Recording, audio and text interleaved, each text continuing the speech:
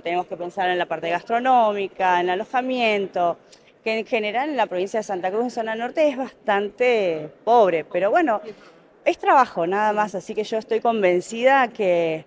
en un año, un año y medio vamos a empezar a ver ya resultados de todo, por lo menos de este mes y medio que estuvimos en Buenos Aires trabajando fuerte para poder traerle a Santa Cruz nuevos aires en el turismo, eh, lo vamos a tener, lo vamos a ver pronto. Ha tenido la oportunidad recientemente también de conectarse con la intendente de los antiguos, que es Zulma Neira también,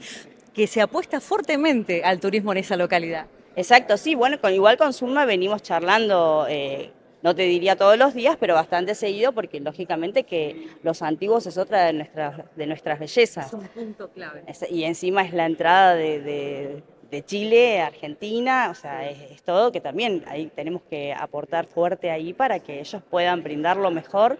y de esa manera generar del turismo una, te diría como una de las principales herramientas para, para, Santa Cruz. ¿Ya puede hacer un balance del tiempo que lleva en el Senado? Bueno, ¿cómo está haciendo su trabajo? ¿Cómo lo lleva adelante? Hoy te digo que estoy fascinada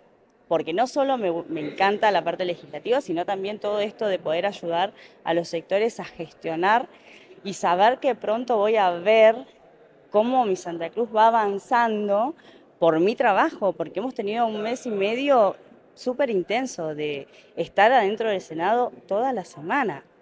y todo el día, ¿viste? Porque bueno, sí, es salir a buscar, por suerte tengo buena relación con la vicepresidenta, que es la que me ha generado los lazos con las embajadas, así que ya he podido estar con bastantes, eh, varios embajadores, eh, que eso, bueno, lógicamente que también son inversiones, es pedido de inversiones, donaciones, así que bueno, estamos trabajando, estamos trabajando un montón.